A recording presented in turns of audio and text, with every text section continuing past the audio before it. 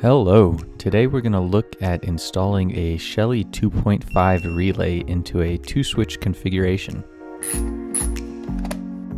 At a very basic level, a Shelly relay is a Wi-Fi controlled relay that you can install behind switches, outlets, various other devices, and that allows you to control those devices over your Wi-Fi network or using various different home automation systems. Let's start by looking at some of the basic tools and other things that we'll need to complete this project. First and foremost, we will need a Shelly 2.5 relay.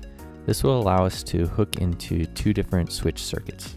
We'll also need a set of wire strippers, flathead and Phillips head screwdrivers for removing the wall plate and the switches and other wiring inside of the wall box, some kind of electrical tester. I'm using a non-contact voltage tester, you will also need some electrical wire to jump between the relay, switches, and other parts of the circuit. I'm using 14 gauge wire here, but that may vary depending on your region and codes. And finally, some wire nuts to connect all your wiring. And it's nice to have a schematic on hand to reference while doing this project. I had a Shelly 1 schematic on hand while I was doing this, but here's a proper schematic for wiring the Shelly 2.5. Instead of talking through the schematic, let's just go ahead and jump right into it and I'll show you how to hook everything up as we go. Start by removing the wall plate around the switches. You can turn the breaker off before this step, however you'll see that I turned it off after so that I could demonstrate that the wires were live. Here I'm using my non-contact voltage tester to verify that the circuit is live. Find your breaker box and turn off the breaker for this circuit. I'm now going to verify that the circuit is off. As you can see, the non-contact voltage tester is no longer beeping. You can also do a visual check by flipping the light switches and verifying that the lights no longer turn on. Now that we've verified that our circuit is off, go ahead and remove the switches.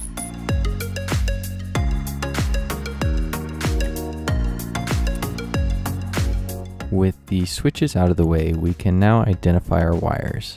Here's where our live wire comes in and connects to both of our switches. The live wire runs to one of our switches here with the output going to one light bulb and we have the live going into the other switch and the output going to the other light bulb.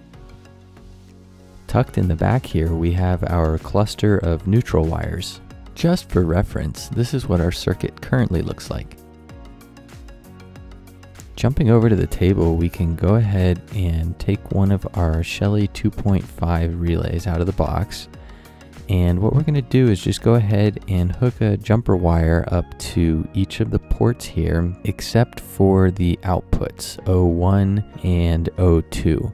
Make your jumper wires long enough so that they're slack to hook everything up and push it back into the electrical box in the wall once we're finished.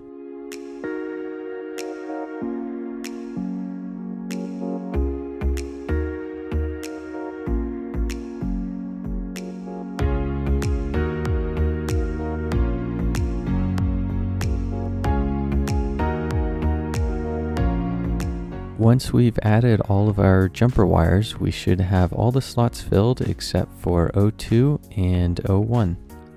Let's now remove the wires that run from the switches to the lights in preparation for connecting to the output ports on the relay.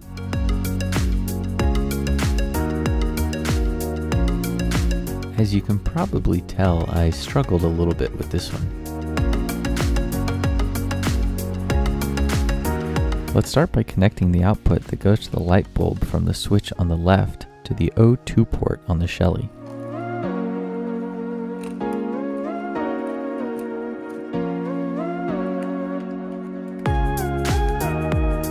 Next, we'll connect the output from the other switch to the O1 port on the Shelly.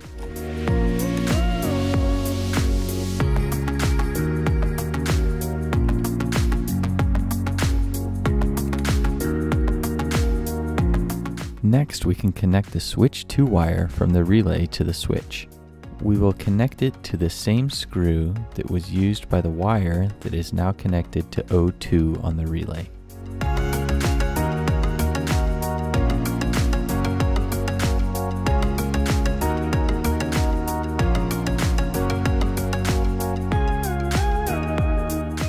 Now we can do the same for the switch 1 wire coming from the relay to the other available screw on the other switch.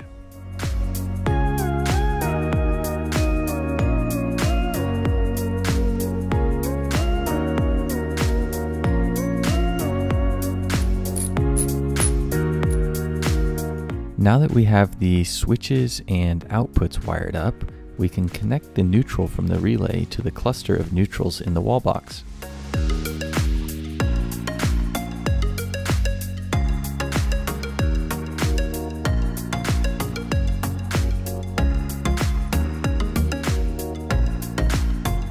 And finally, we can take the two L wires from the relay and connect them to the cluster of live wires in the wall box.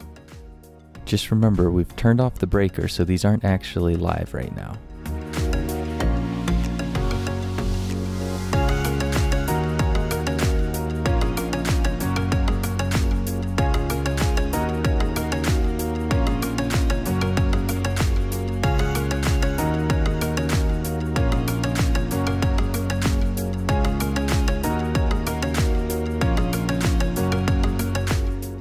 And that concludes the wiring of our Shelly 2.5 relay into our 2-gang switch configuration here. Before we close everything up, let's go ahead and turn on the breaker and just test that everything's working as we expect it to be. You can see from my non-contact voltage tester that this circuit is live, so be very careful not to touch any exposed wires. As can be seen here, the lights are working just fine with the manual switches, so we can now go ahead and close everything up. Remember to turn the breaker off before we start shoving things back into the wall box. This part should be pretty straightforward. Once we put this all back together and turn the breaker back on, we will be able to connect to the Shelly via Wi-Fi and set up everything for remote control. The rest of this video just shows me reinstalling the switches and the cover plate and finally turning the breaker back on. So with that, we've completed the installation of our Shelly 2.5 relay, and I hope you enjoyed the video, and most importantly, I hope you found it helpful.